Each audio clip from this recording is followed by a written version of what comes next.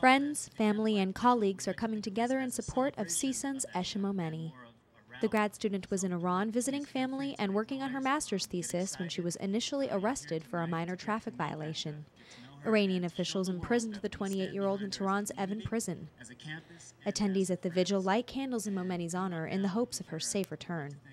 Though Momeni has been released from prison on bail, friends and family say that the fight isn't over. She will now have to stand trial for supposed crimes committed against the Iranian government. Well, it's a huge relief that she's even out of prison. That that was the big nightmare. The fact that she's out on bail still gives me reason for worry because that implies that she's not out of the woods yet.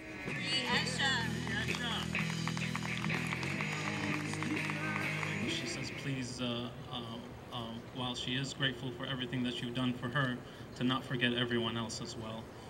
Uh, thank you. Thank you again.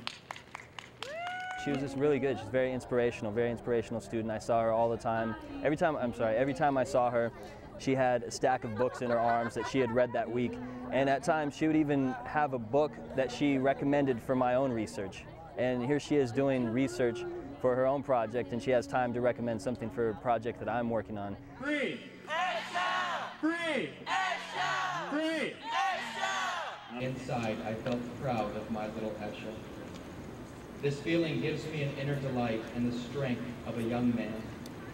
This brave woman roars like a caged lion, yet she leads a great symphony which will make the universe dance and lifts me like a light-footed angel up to the zenith of my dreams, in hope of your immediate release.